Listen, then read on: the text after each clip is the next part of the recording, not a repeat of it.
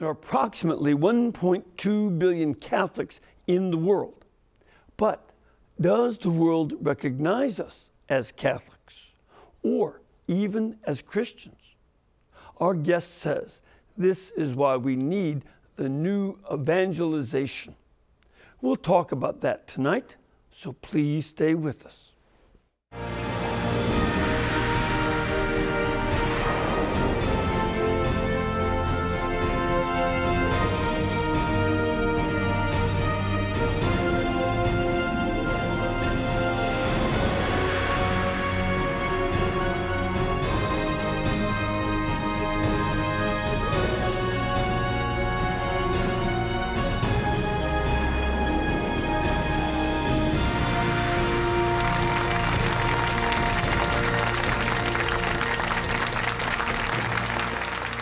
Thank you. Thank you. Welcome. I'm Father Mitch Pacwa, and welcome to EWTN Live, our chance to bring you guests from all over the world.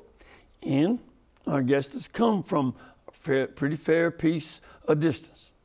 He is here to help us answer the question of how to evangelize a culture that has already heard the gospel in one form or another, but doesn't see the need to connect with God, and more to the point, doesn't recognize the absence of God as an absence in their lives. So please welcome the President of the Pontifical Council for promoting the new evangelization, Archbishop Rino Fisichella. Archbishop, welcome. Thank you. Welcome. Where are you from originally? Originally from Milan, Milan. a small, small village uh, close to Milan in Lombardy, Okay. in Italy. Yeah, but I moved to Rome when I was 19. Mm-hmm. So all my life in Rome, Yes. the eternal city. Yes. Though I always like to remind the Romans their eternity only begins in the 8th century BC. This is fairly late. Ah, I, I like to go back to the Bronze Age. great, great. History belongs to our history. Exactly. Exactly. The um, uh, work that you do now is as president of the Pontifical Commission on, or Council on New Evangelization. What uh, is this new evangelization? And this is obviously an important Vatican office, but what do we mean by a new evangelization? Well, this is a big question because uh, what is the new evangelization? I would say, first of all, it's not just a beautiful expression in which you can put everything uh, and the contrary of everything. No, absolutely not.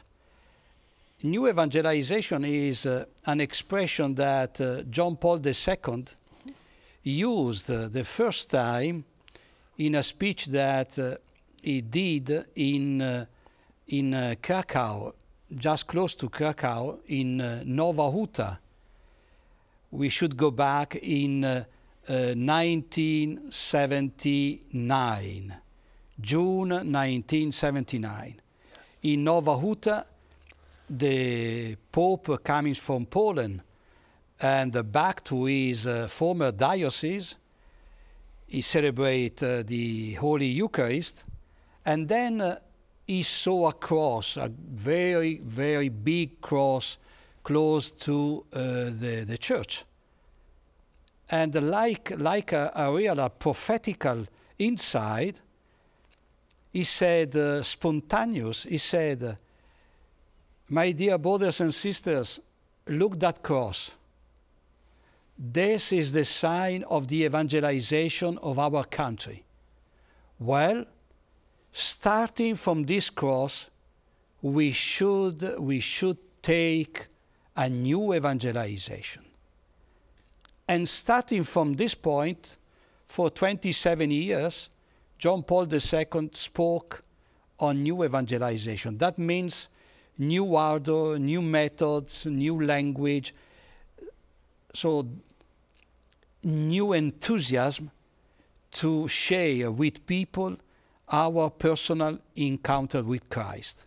One, one of the interesting points of that being first stated in Nowa Huta is that it was there that he fought with the communist government when he was bishop and archbishop to permit the building of that church.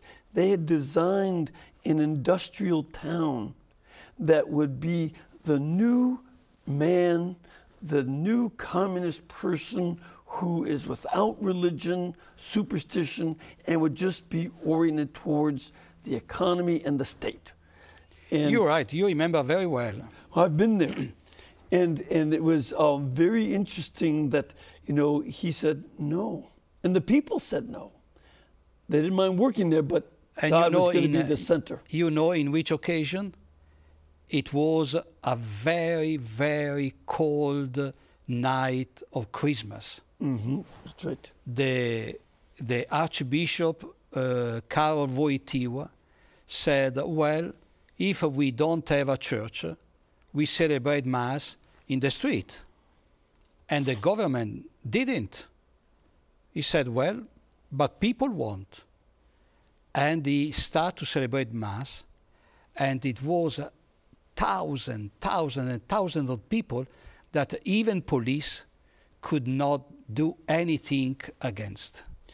In fact, just a few of the militia, the local police, were making the sign of the cross oh, right, because they were Catholics Right. at their core. Right. He and his new evangelization was to evoke faith in the midst of the attempt to eradicate it. I would say is to evoke our history. It means to evoke what we are. Because, you know, we are a country, Europe, North America, South America, I would say all the Western culture is a culture, is a count, they are countries born from the Christian culture. And that means for us to go back to our origins and to understand also who we are. In some way, I would like to say, when we speak about a new evangelization, we are speaking also about our own identity. And one word that is very important for us is identity. To understand who we are and to have a very strong identity. Because just when you have a strong identity, you can speak with, uh, with the others and you can also understand the difference between you and the others. And you can be also able to share who you are and uh, the others. So the new evangelization is not just something that uh, we do as uh, uh, a part of our faith, because uh, at the first, you know, at the first there is the command of Jesus go everywhere, go to all the world, and make disciples all the nations. So, and then you, you are called to baptize people who will believe in me and in your preaching. So we obey to, first of all, we obey to the command of Jesus Christ. But then we need also to know uh, who we are, our identity, our history, and our culture. And see, this, you know, your own area, Lombardy in Italy, is called that because the Lombards were barbarians who invaded and wrought great destruction. But Pope Gregory the Great saw these are people we must evangelize so that the barbaric background of the Lombards, the Goths, and all the others is transformed and they become a new identity. No longer barbarian, but through Christianity, civilized. Absolutely. I, I would say we cannot forget, for instance, in our history, first of all, uh, Leo the Great, Pope Leo the Great, was one of the first. But we cannot forget uh, Gregory the Great, and not forget that Gregory, Gregory, the Pope Gregory, was Benedictine. And as a Benedictine, he sent all the monks around all Europe, and this was the moment in which Europe was really created as a, a, a unity of countries and the different traditions. And then, you, you know, I, I am smiling when uh, today I hear that uh, uh, we are, uh, we are uh, uh, creating the Union, the European Union. But the European Union was made, made in, in 8 and 7, 7, 8 century already. And that was made by the evangelization. So that was made by the monks who, uh, uh, who, who, brought in, in, in the different countries and in different traditions and in different religions also, they brought the gospel of Jesus Christ. The European Union is this human attempt to forget that history because in the Enlightenment, whether the French Revolution, Napoleonic Wars, nationalism of Bismarck, and later, or the fascists in Spain, Italy, the Nazis, the communists, all these attempts destroyed that unity that faith had at one point started. And we are back to saying, no, your ideas don't work. Let's go back to Jesus. But you know, what you mentioned is very, is very important because it, uh, it means that we are in Europe, we are forgetting our identity. Yes. And this is, uh, this is a very, very dangerous trap that is in, uh, in, our, in our history for this particular moment. Because uh, to, uh, to forget what we are and our history, our identity, it means that there is no future for us. And how can we have a future forgetting the origin of our culture? And that comes from the gospel. So I think, for instance, I think what you mentioned in the beginning, we, we feel today as one of the main problem in Western culture that people don't perceive anymore the absence of God as an absence on their own life. And that means that there is no possibility at all to grow up as a, a human identity. Because, uh, listen, when you put a God in a corner and when you marginalize God, you have no more the center of, uh, you are no more the center. You man and you woman, you are no more the center. Because the center will be someone else. The center will be uh, will be the new discovery, the, the center will be the, the research of science, the center will be the technique, and so everything but we know. But if we have no more relationship between human person and God, forget it, that uh, can be a future in our life. It's one of the ironies to me uh, to think back on how Enlightenment and post Enlightenment ideology tries to portray religion as the big cause of war, whereas it was precisely their rejection of faith and the rejection of living out the faith that really brought the great wars, that the wars of Christianity account for 2.6 million people. The wars of secularism are 305 million people. So that in like you say when they forget their origins and not only forget but try to stuff it back, try to reject, then they become more violent than their pre-Christian ancestors.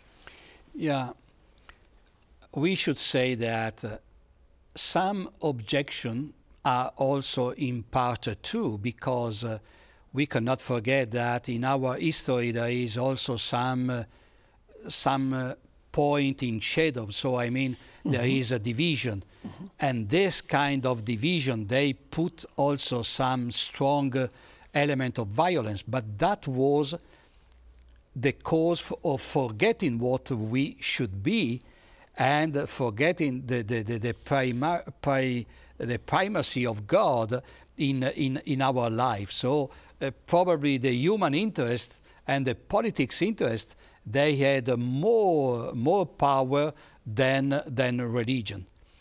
But I will say just, uh, just uh, this, this, this one uh, thing as a consequence of that that of course we have also our, our we had uh, different problems, but the problem of today is, uh, is, uh, is different because the problem of today is that our behavior is no more in relationship with God. Yes. And so and we become judge of all of our actions and we become judge of the good and the bad. And if we forget God in our life, who will be the true judge about our own life?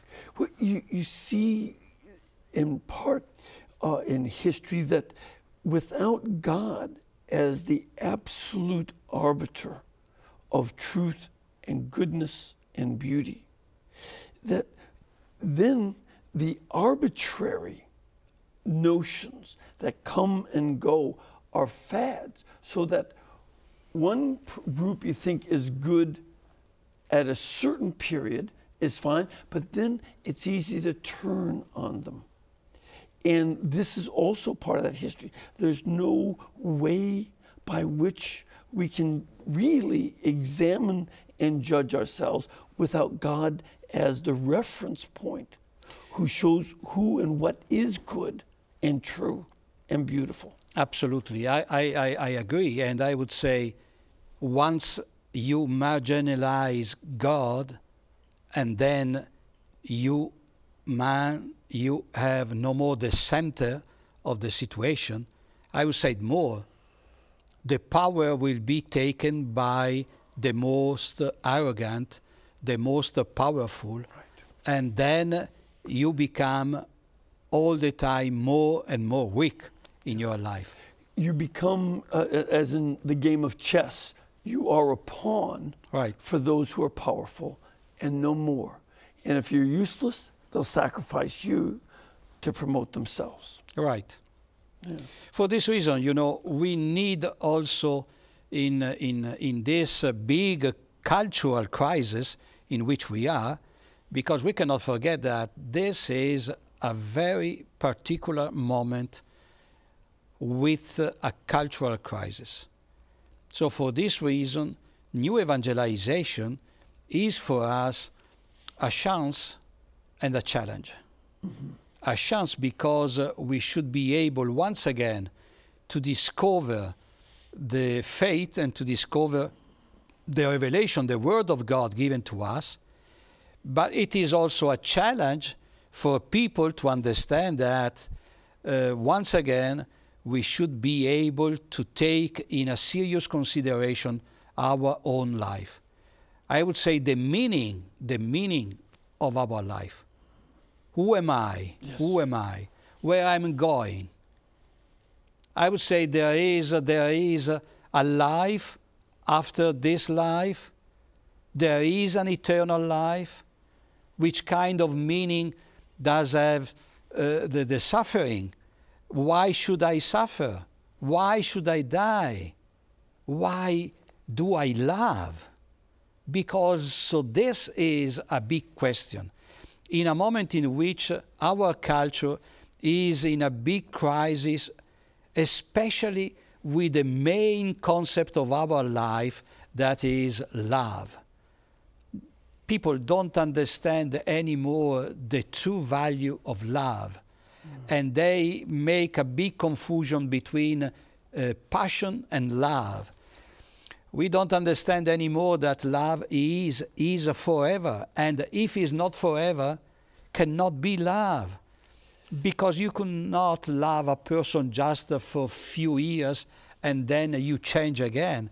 This is this is not the true life, the true human life. You know. No, it's giving back to, to what we were saying before that I use people as pawns. I may feel a passion for them, but if I don't feel passion, they're out of my life.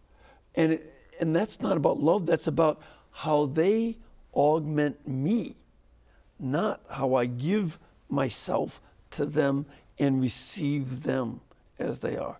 That's, they don't understand love.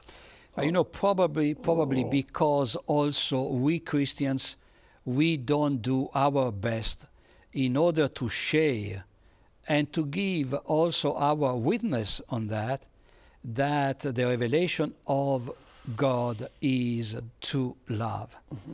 We should be able also to share once again the necessity the necessity of this experience is the experience of love and to remember that God loves you and God is merciful with you.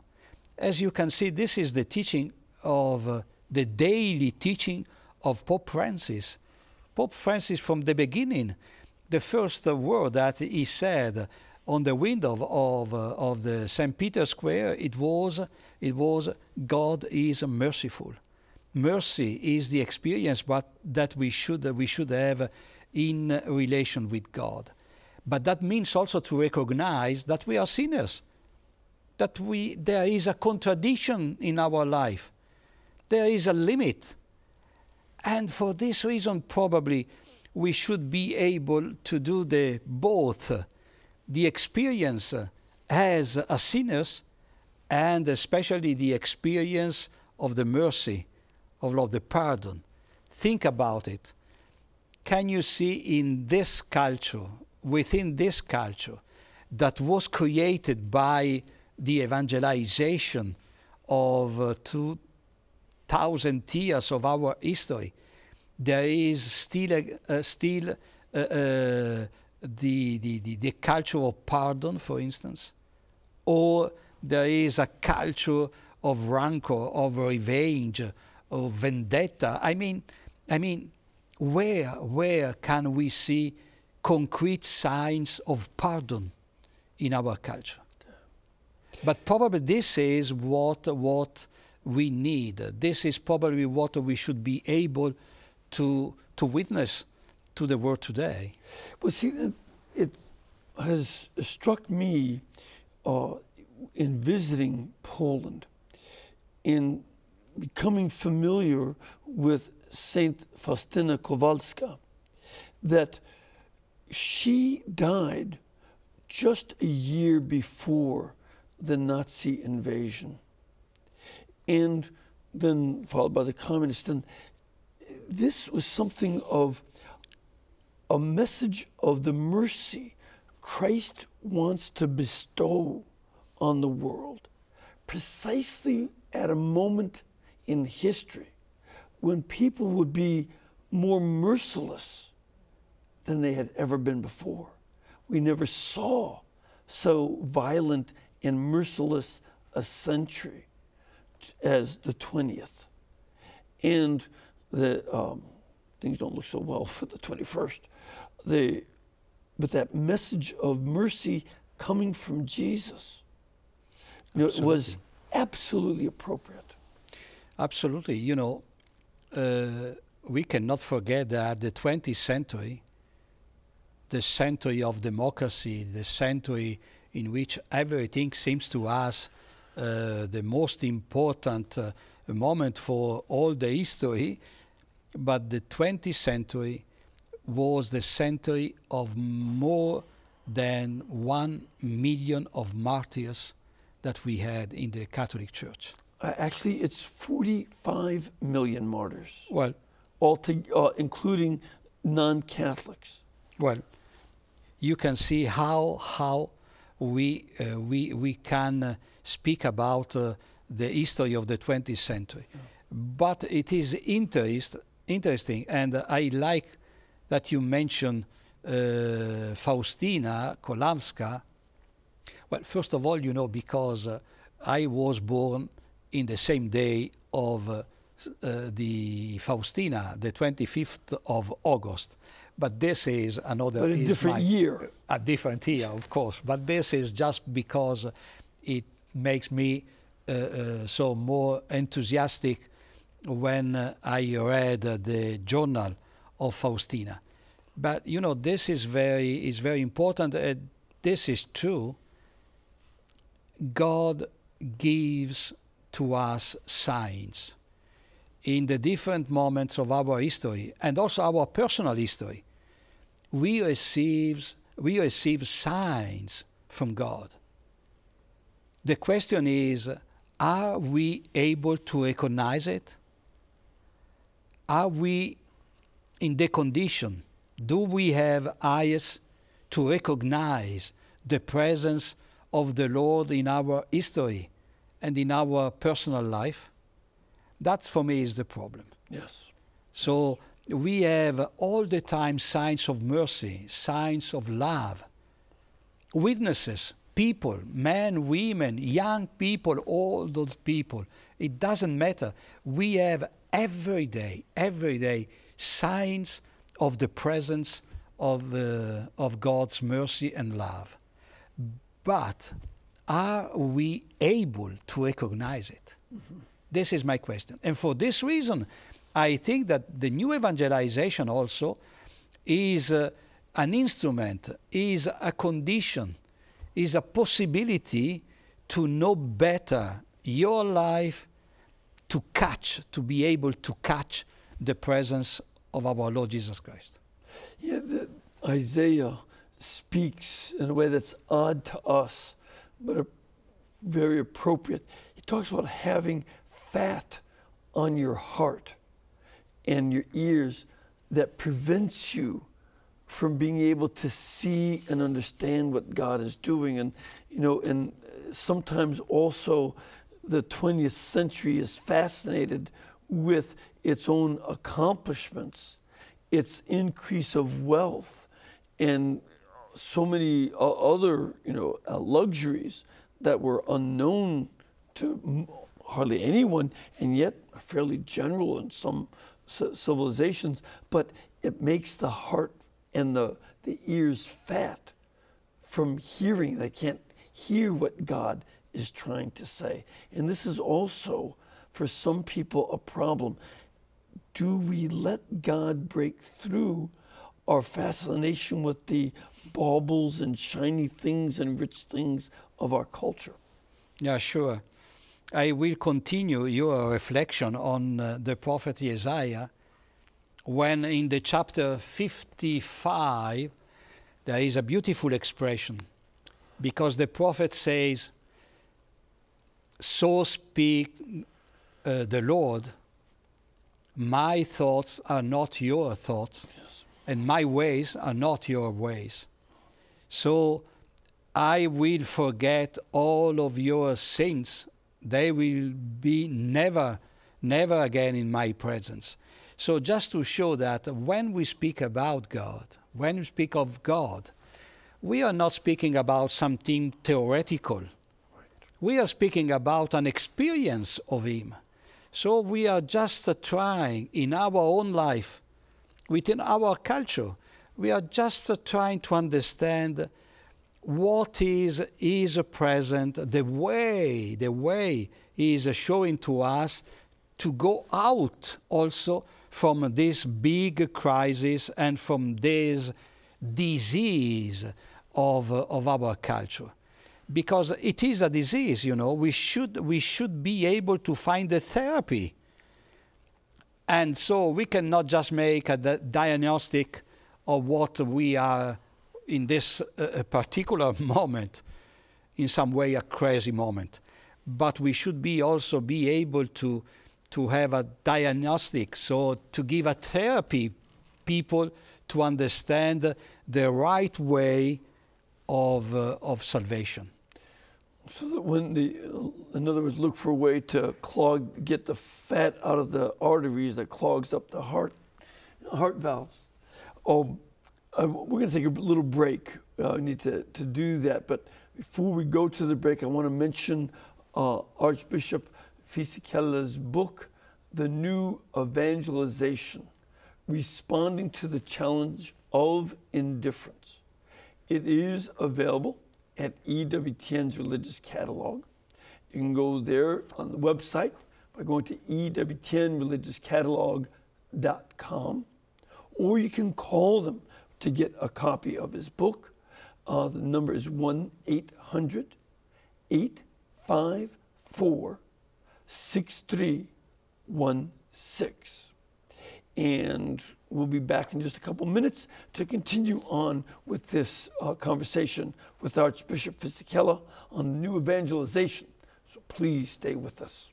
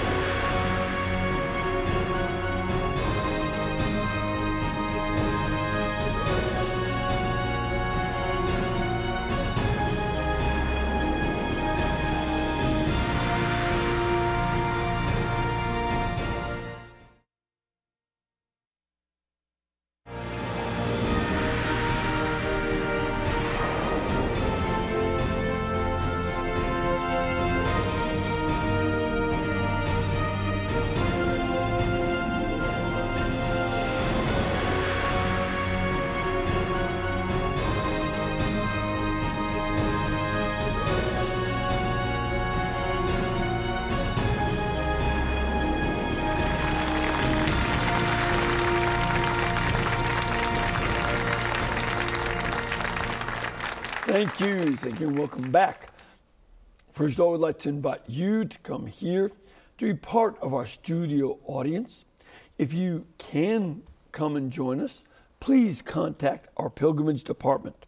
The number is 205 271 2966, or you can go to the main uh, webpage, ewtn.com, where they can get you information on times uh, for masses, tours to the studio, and uh, chance to be part of the studio audience, and of course get up to Huntsville and see all the sisters.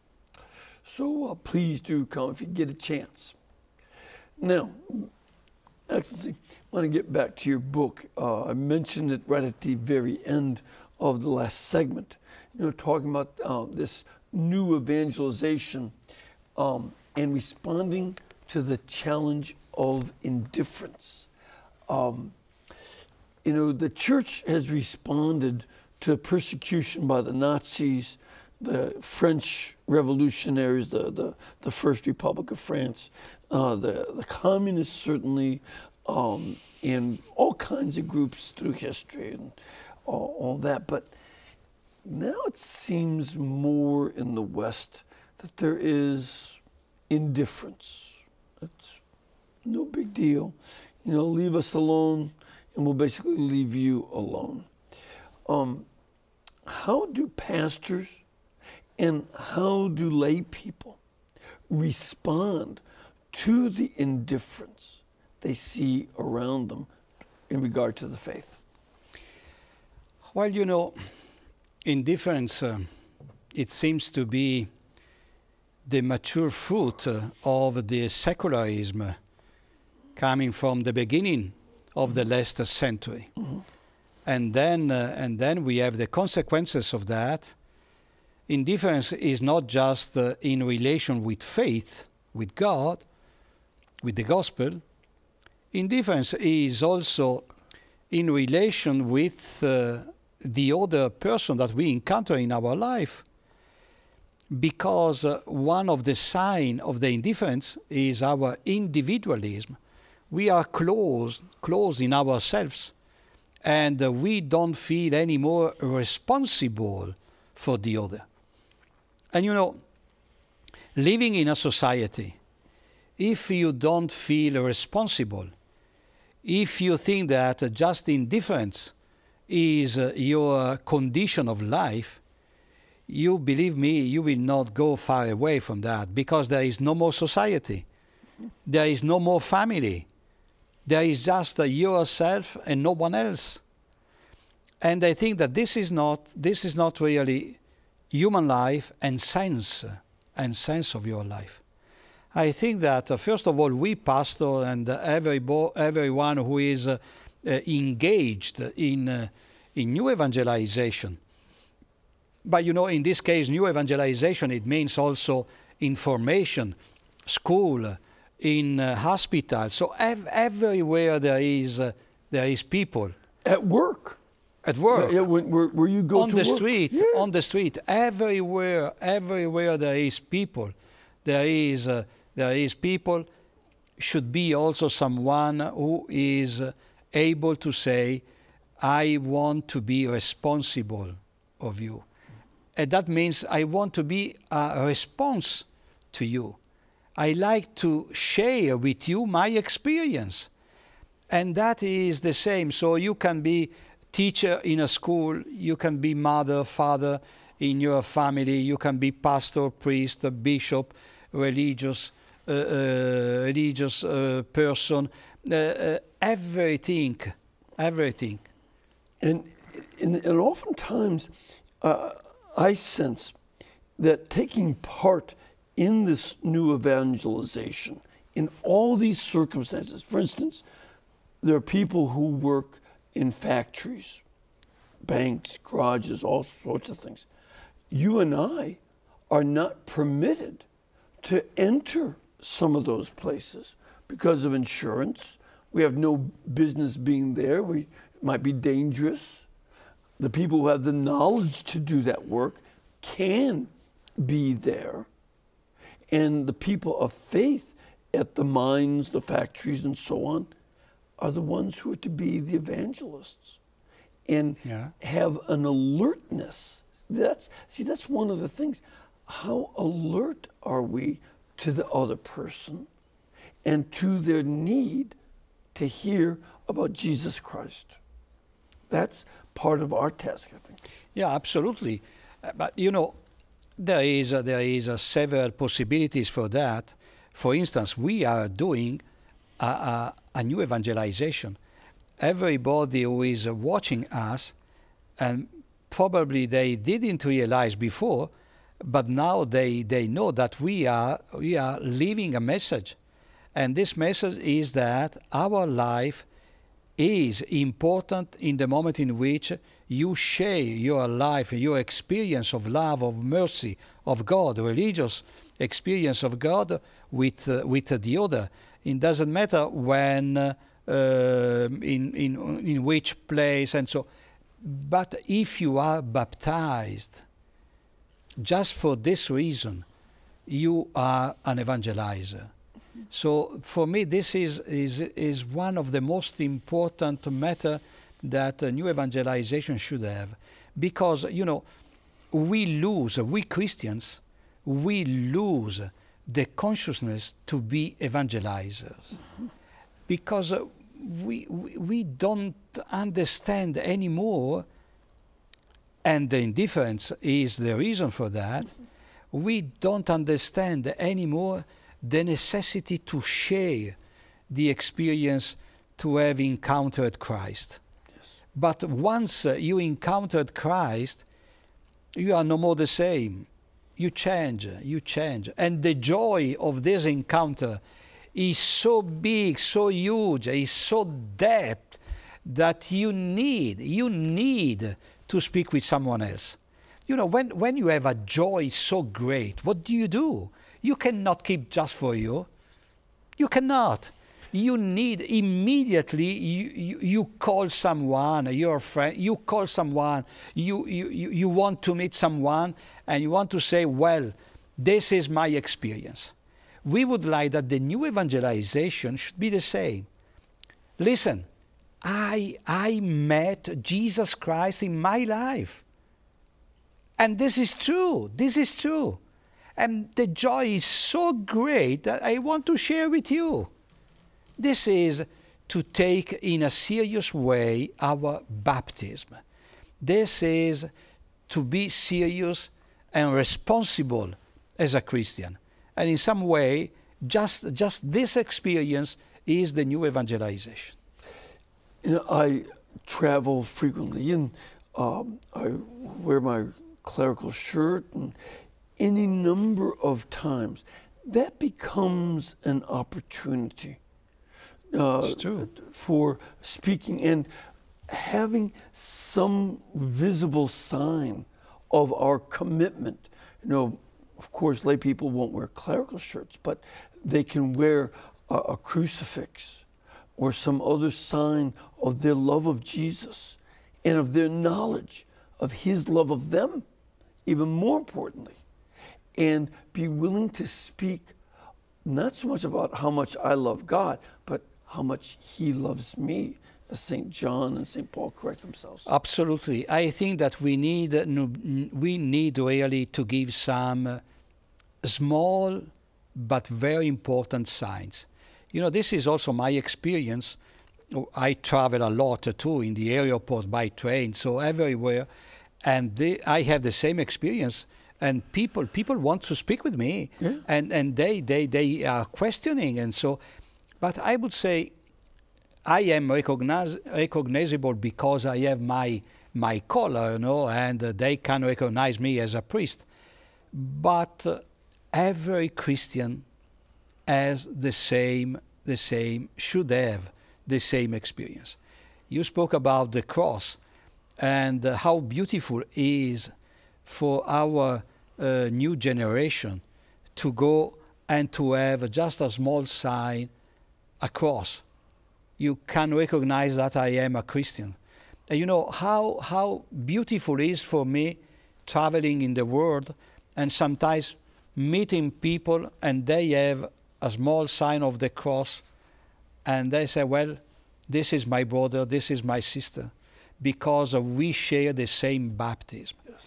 I will say, you know, uh, I like to say that you are baptized, you have your name, because in the day in which you have born, you have a new name, and then you will be different from many others.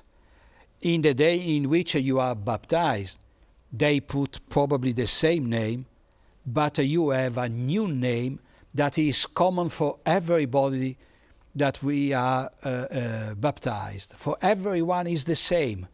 Christopher, Christopher, You are bringing Christ. That, that's what the word Christopher means, to bear Christ. Right.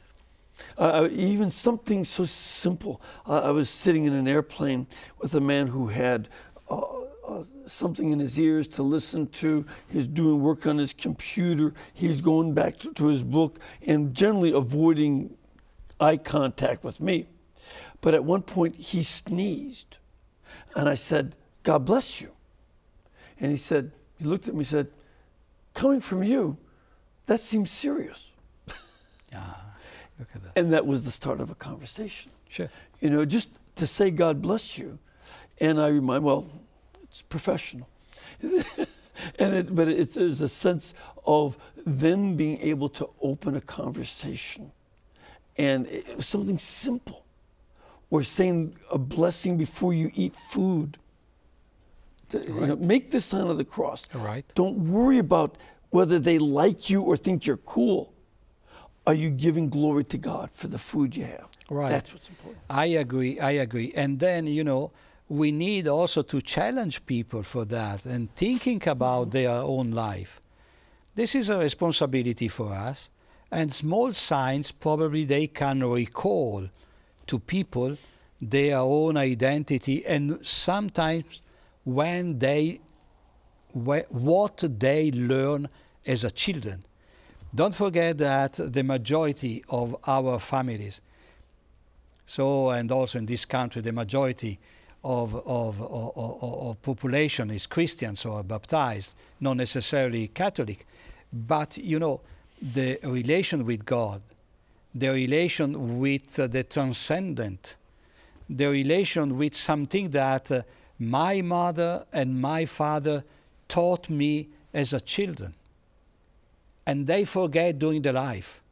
And probably just one sign of the cross before meal, they will remember, ah, my mother taught me why I didn't. I did it with my, with my children. I had several experiences on this, uh, on yes. this point. Yes. And I think that uh, this is very important for us. And, you know, these, you know, it's, it's not exactly a, a huge program or a big organization called the New Evangelization, but it's these very concrete, personal efforts and signs and willingness to speak of Jesus Christ without shame or hesitation. That is very key. Absolutely. You know, the new evangelization can be summarized in one word witness. Witness. If you are witness, if you don't shame of your, or your faith, but you should be proud because uh, there is no nothing nothing bad. It's just love. And just to learn people to love in the right way. So why should i ashamed to be to be catholic or christian or to be unbeliever? I mean we need we need to give with uh, a right consciousness uh, our witnesses.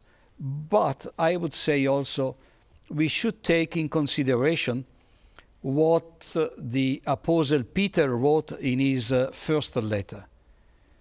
Do this with uh, respect,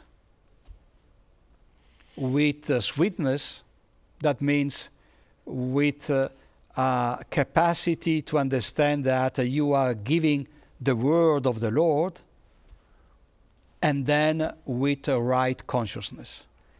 Three uh, words that are very important as a method for the evangelization.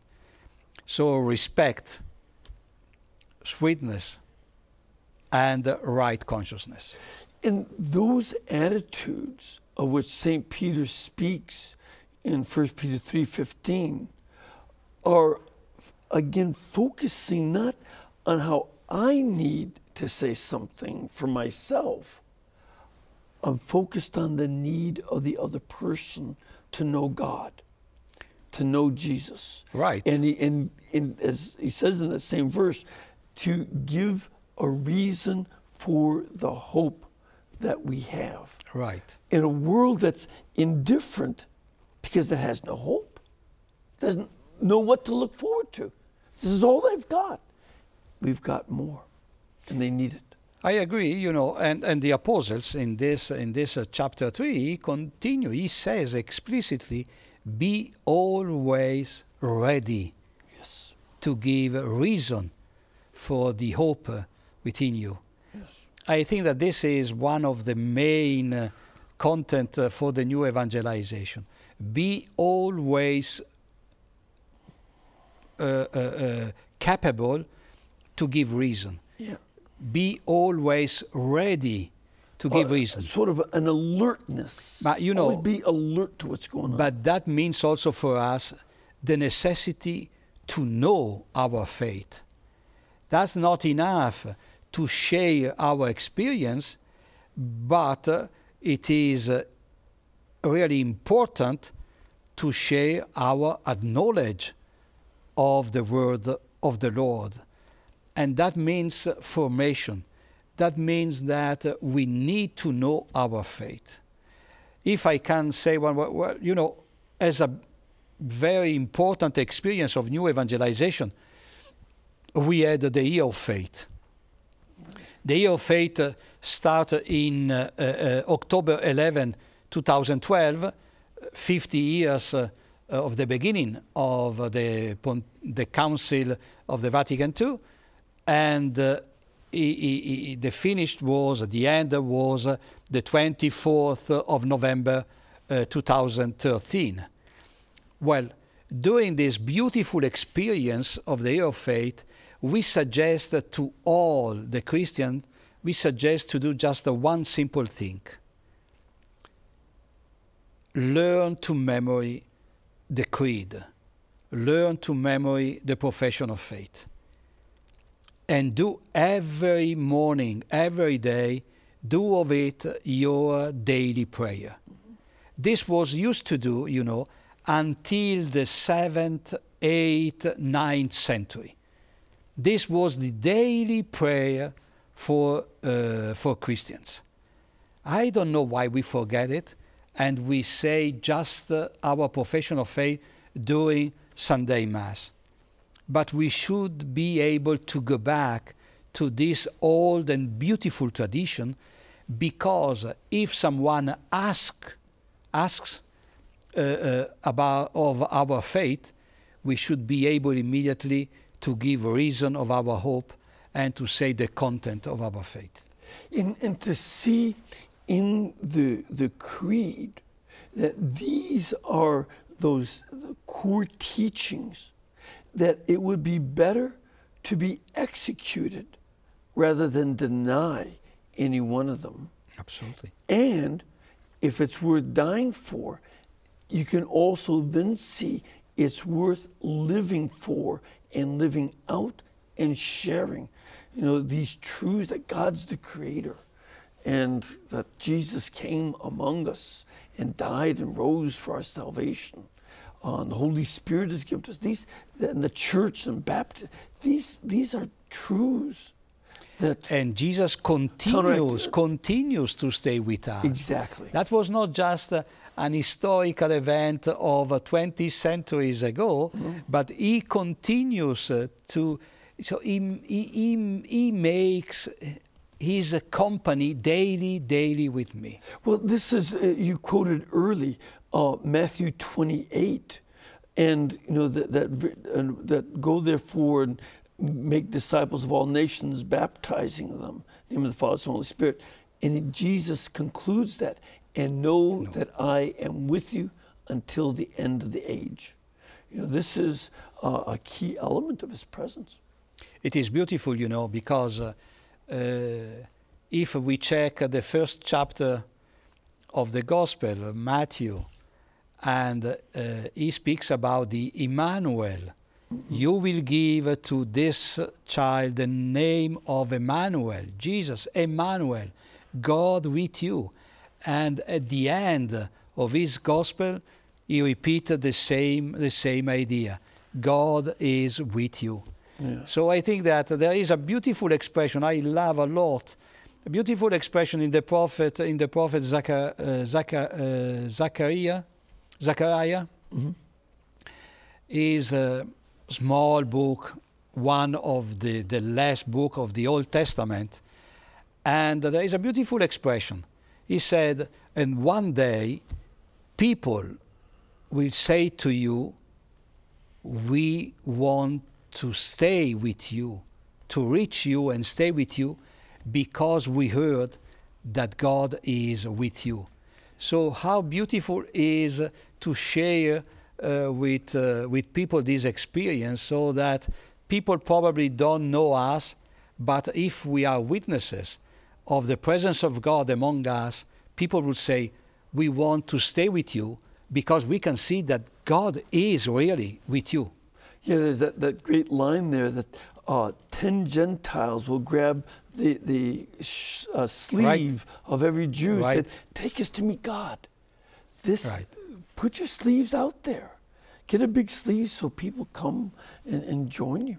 It's beautiful, isn't it? it? It's, a, oh, it's, it's a wonderful, wonderful image that, that we have. You know, we are getting close to running out of time, unfortunately.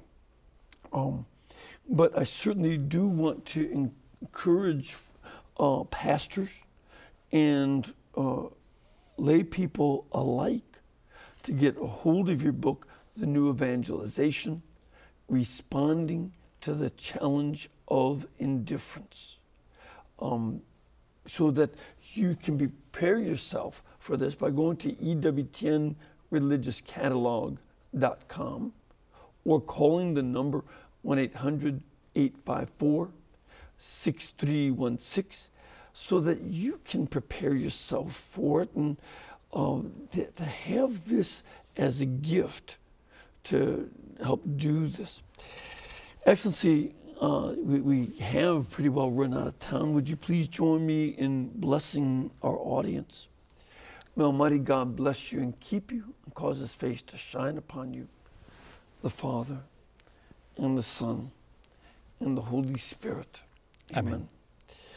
And again, we can bring you guests uh, like Archbishop Fisichella and some of the other guests and all the other programs only because this network is brought to you by you.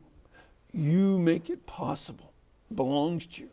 So please keep us in between your gas bill, your electric bill, and your cable bill. And we'll be able to pay all the bills that we have to. God bless you and thank you.